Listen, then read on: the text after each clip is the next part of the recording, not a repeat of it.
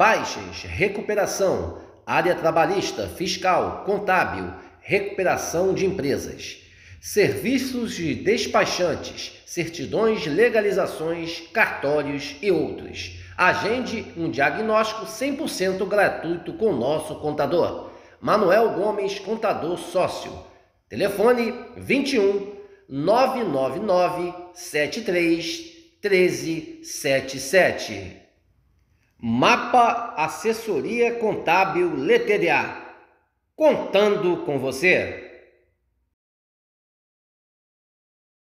Aqui nós vamos falar a verdade, doa a quem doer. Se você não gostar, desligue ou mude de canal, tá? Que eu não também, ó, tocar e andando, ok? Muito bem.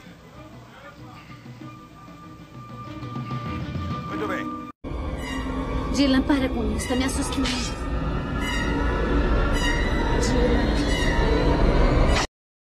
Feliz, feliz ano novo.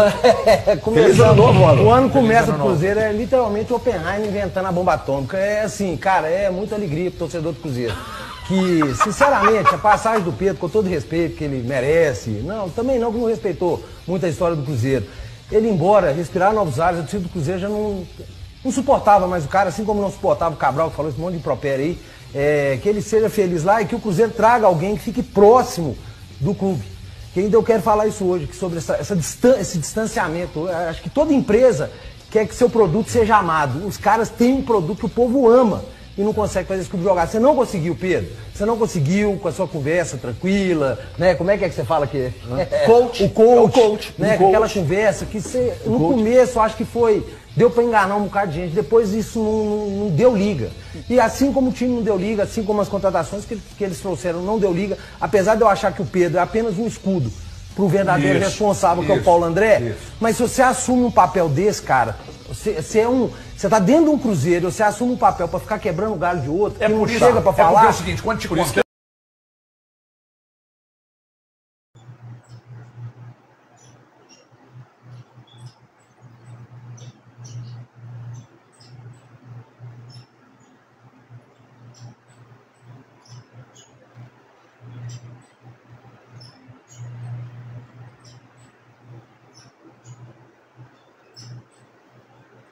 Alô? A imensa torcida Cruz Maltina de todo o Brasil e de todo mundo. Aqui é Márcio Russo no canal Russo Vascaíno. Vocês viram aí agora o vídeo lá do- dos donos da bola de Minas Gerais. Torcida do Cruzeiro dando graças a Deus na saída do diretor executivo Pedro Martins do Cruzeiro.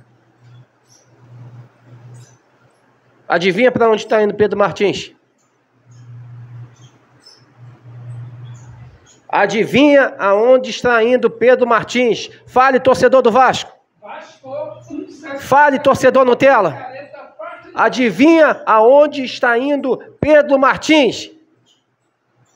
Adivinha? Esse moço acabou de tomar um pé na bunda do Cruzeiro. Com um trabalho de merda do Cruzeiro. Tá saindo, gente, corrido do Cruzeiro. Foi praticamente expulso pela torcida do Cruzeiro. Expulso pelo péssimo trabalho do Cruzeiro, principalmente nessa temporada de 2024. 68 jogadores contratados, sete técnicos que esse diretor executivo fez no Cruzeiro. Sete treinadores passados com 68 jogadores. Um trabalho de merda. E esse cara é o novo é o novo pau mandado da 777 Partners. A gente vai deixar aqui agora o comentário do nosso amigo lá da Cruzeiro Esportes, Diogo Medeiros. Veja o que ele vai falar sobre esse cidadão, esse cidadão que está saindo do corrido do Cruzeiro, o torcedor do Cruzeiro está dando graças, da, graças a Deus da saída desse diretor executivo, porque aqui não vai ser diretor, não vai ser chamado de diretor executivo, vai ser chamado de pau mandado da 777 Partners e do ex-traficante ex de drogas Josh Craig Wander. É inacreditável que eu tenho que passar essas informações para você, Cruz Maltino!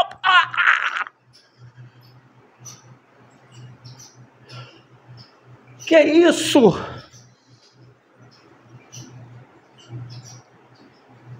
Não dá mais. Não dá mais. Não dá mais.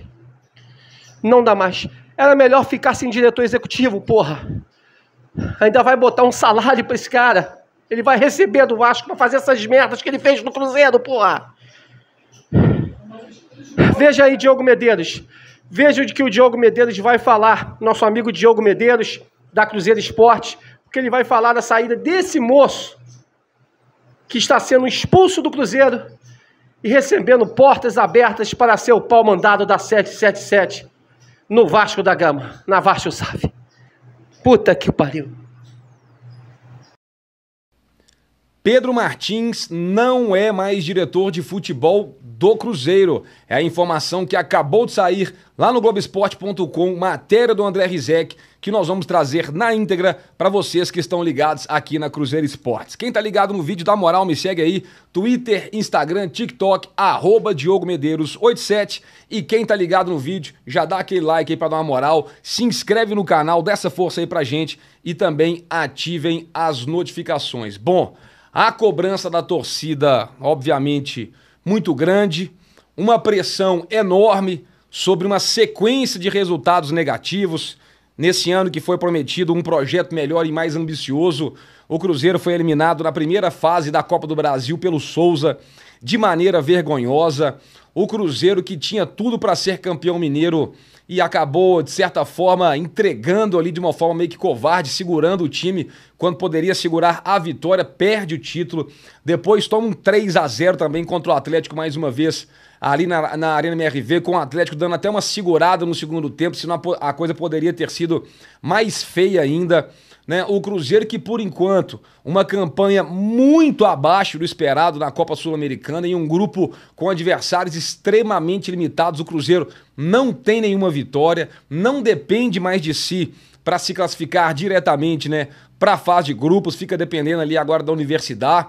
É, que vai fazer dois jogos em casa contra o Aliança, contra o Lacalheira, para pegar o Cruzeiro na última rodada. E o Campeonato Brasileiro, está só começando aí, mas a preocupação do torcedor é muito grande. Fora contratações extremamente questionáveis, fora jogadores que não rendem absolutamente nada e continuam jogando, fora explicações completamente sem contexto, falas desconexas com a realidade. Tudo isso aí acabou agora culminando na troca, né? De diretor de futebol do Cruzeiro. Mais uma vez, essa informação do Globoesporte.com. Todo esse vídeo aqui vai ser pautado na matéria do Globoesporte.com.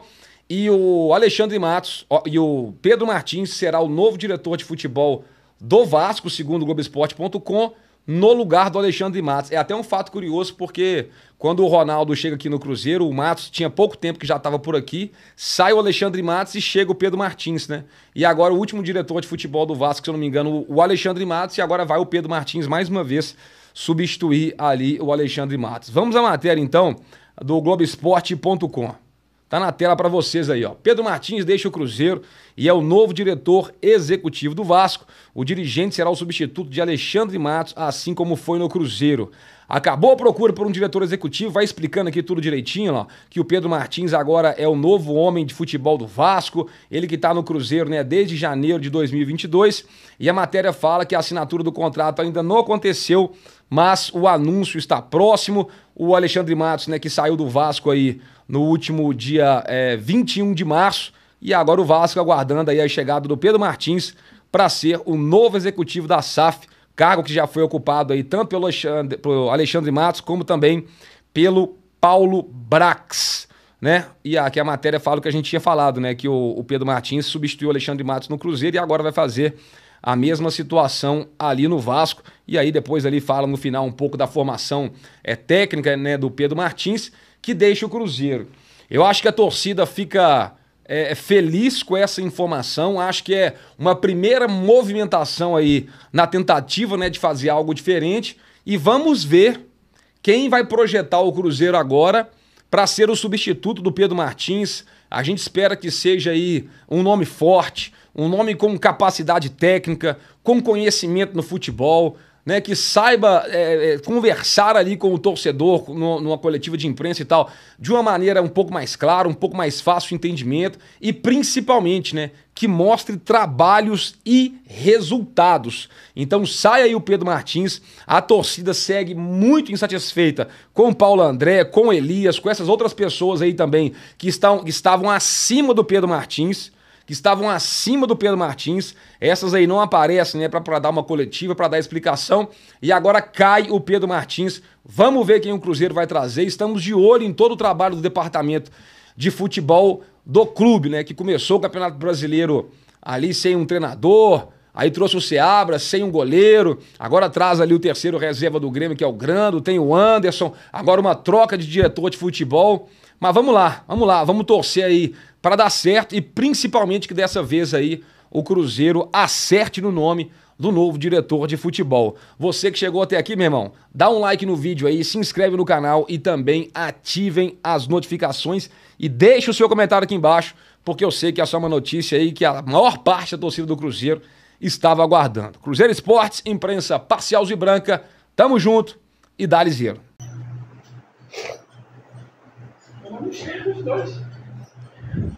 Gente, eu vou encerrar aqui.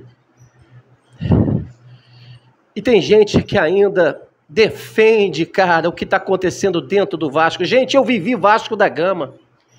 Eu vivi Vasco da Gama. Eu vivi e convivi com títulos, protagonismo, grandeza, gigantismo.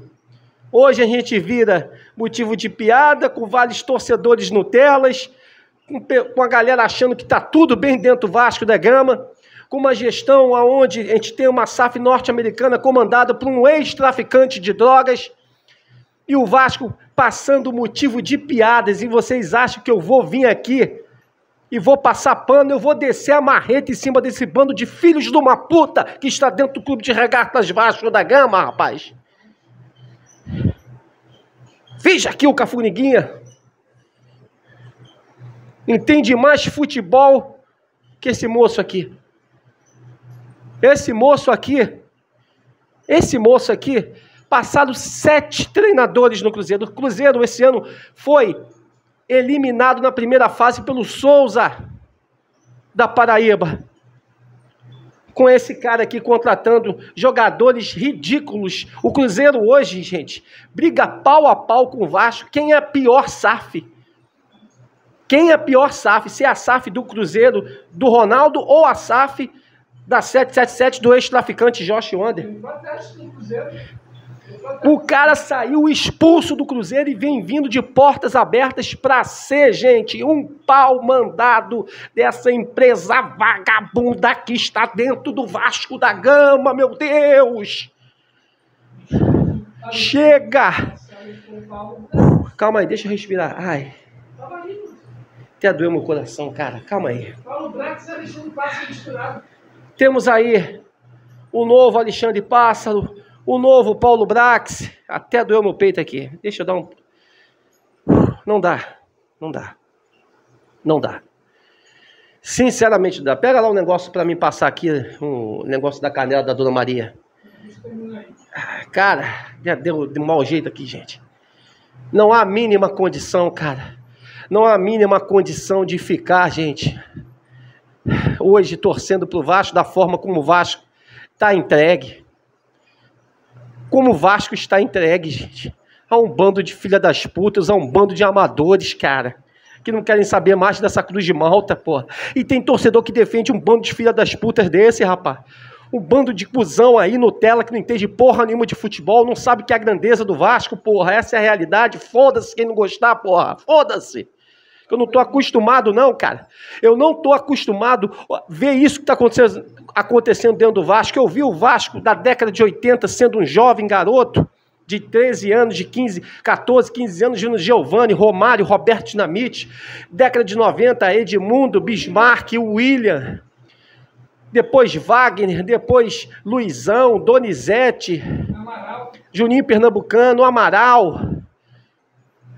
Um time que foi campeão brasileiro três vezes, campeão da Rio São Paulo, campeão da Libertadores da América, campeão da Mercosul. Disputou pau a pau ali com o Real Madrid, quase ganhando o título mundial em 1998. Foi considerada a segunda melhor equipe do mundo em 1998. Uma equipe protagonista, uma equipe que chegava dentro de, de campo, deixava os adversários amedrontados quando entrava com a cruz de malta dentro de campo, porra. E vem esses filhos de uma puta, Jorge Salgado, Carlos Osório, Carlos Osório, que acabou, rapaz, destruindo e diminuindo a nossa instituição a isso, essa merda que está hoje. Infelizmente, é o Vasco que está entregue e, lamentavelmente, é o Vasco que tem hoje, com essa empresa vagabunda que comanda o futebol da SAF do Vasco da Gama.